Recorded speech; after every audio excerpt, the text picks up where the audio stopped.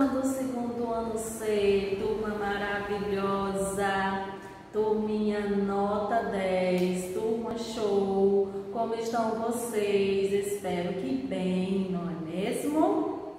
Mesmo passando por esse momento tão delicado, né? Mas a gente não pode perder a fé e a esperança que tudo vai dar certo, ok? Então, nesta manhã maravilhosa, nós teremos a nossa disciplina de ciências com o conteúdo, os objetos do cotidiano. Olha que maravilha, né? A gente usa tanta coisa e não sabe a sua origem, né? A, a matéria-prima, qual foi feita aquele objeto. Então, hoje a gente vai descobrir. E, além disso, nós iremos agora iniciar a correção da aula passada com o conteúdo Nutrição das Plantas. Vamos lá, pega aí o livro de vocês, abre aí na página é, 391, 392 e 393. Vamos lá, rapidinho, pega aí o livro de vocês né? Para a gente trabalhar o conteúdo nutrição. Na primeira questão diz assim: A família Silva gosta de ter plantas dentro de casa. Ela rega as plantas quando necessário e sempre mantém as cortinas abertas durante o dia. A família Silva oferece condições para que as plantas sobrevivam, sim ou não? Sim, né? Com certeza. As plantas elas precisam de, de sol, de água, né? Elas precisam respirar. Então, com certeza a família Silva está cuidando das plantas. B. A família Silva vai viajar por um mês e por isso a, ca a casa deles ficará fechada. Você acha que as plantas vão sobreviver nessa Claro que não. Né? As plantas precisam de luz solar, como a gente viu na aula passada, para poder se nutrir. Elas precisam de água, precisam de cuidados, né? Então, se elas ficarem lá, né, sem nenhum tipo de respiração, elas com certeza não irão sobreviver. Então, com certeza você vai marcar aí a opção não. C. Que atitudes a família Silva deve adotar com as plantas durante o período em que viajam de acordo com a sua opinião? Tenho certeza que você escreveu aí no seu livro, porque essa resposta é pessoal. Segunda questão. O que os nutrientes fornecem aos seres vivos? Vamos lá. Alguns nutrientes fornecem energia aos seres vivos, outros a repõem. Olha só. 3. Como as plantas conseguem seus nutrientes? A gente viu na aula passada. Né? As plantas produzem seus nutrientes pelo processo de fotossíntese. Olha que interessante, né? 6 Complete as afirmações. Na fotossíntese, perdão, esqueci da número 4. Número 4. Assinale os elementos necessários às plantas para que realizem a fotossíntese. Dos elementos contidos aí, solo, água, gás, oxigênio, gás carbônico, luz solar, clorofila, sais minerais. Nós podemos dizer que é necessário é, as plantas para que realizem a fotossíntese e os elementos água, gás carbônico, luz solar e clorofila. Então são esses quatro, é, esses quatro elementos que são indispensáveis para a realização da fotossíntese. Sem esses quatro elementos, não é possível se realizar. Então, a planta ela vai acabar morrendo por não conseguir produzir aí o seu próprio alimento. Questão de número 5. Vamos lá para a questão de número 5. Ok? É, em que parte da planta é realizada a fotossíntese? Em que parte da planta é realizada a fotossíntese? A fotossíntese é realizada principalmente nas folhas e em outras partes verdes da planta. Olha aí que legal, né? Muito bacana. Agora, olha só, nós iremos para a sexta questão, onde eu irei fazer a correção no quadro, ok? Sexta questão.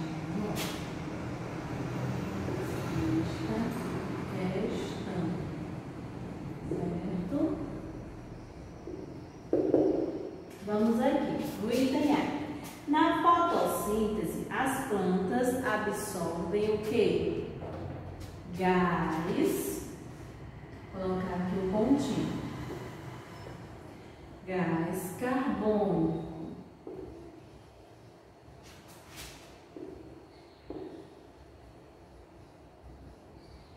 Ok? E liberam libero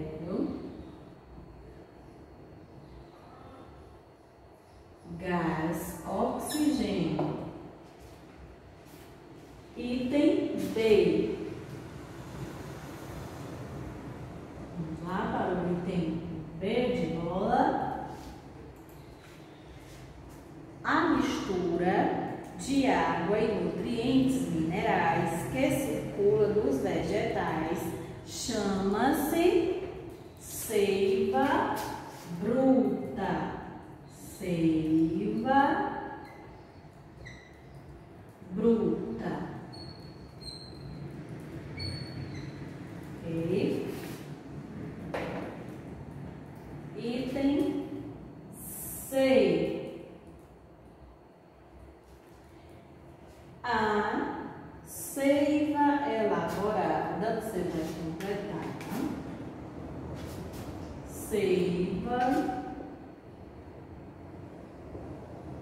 seiva elaborada.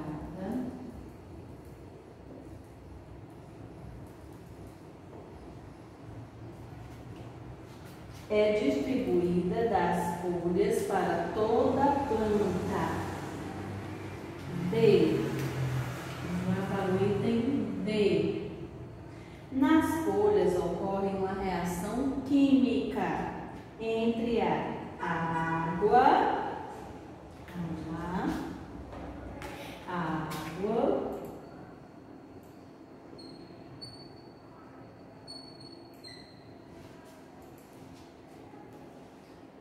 gás carbônico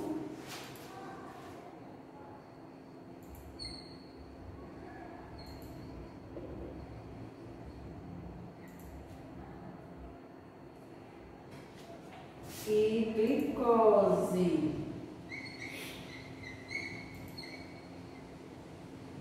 Ok? Item é. Item é. Vamos lá.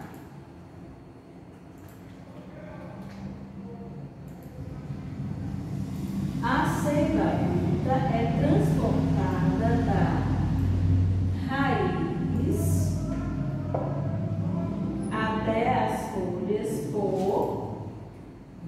vasos condutores. Vasos condutores.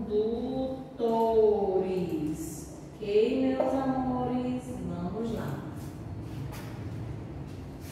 Então, nós temos aqui, ó, na primeira, né, a fotossíntese, na fotossíntese, perdão, as plantas absorvem gás carbônico e liberam gás oxigênio. B. A mistura de água e nutrientes minerais que circula nos vegetais chama-se seiva bruta. A seiva bruta é distribuída nas folhas para toda planta. D. Nas folhas ocorre uma reação química entre a água, o gás carbônico, formando a glicose. E. A seiva bruta é transformada da raiz até as folhas por vasos condutores. Ok? Na sétima questão, copie as frases no caderno, retirando a palavra não, quando necessário, para que todas as afirmações fiquem corretas. Vamos lá? Os animais não produzem seus nutrientes, então precisam comer plantas e outros seres vivos. Nessa questão você vai retirar apenas a palavra não. Vamos lá no item B.